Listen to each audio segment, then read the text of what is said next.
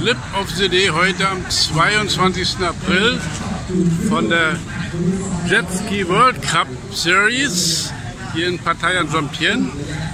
Äh, wegen Covid sind natürlich Jahr keine Zuschauer zugelassen. Aber ich habe mich gerade erkundigt. Werde am Samstag herkommen. Und dann hier kommt schon einer der Fahrer.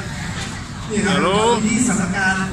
Äh, werde am Samstag zu den Jet Surf Extreme Race gehen und euch davon einen kleinen Eindruck verschaffen.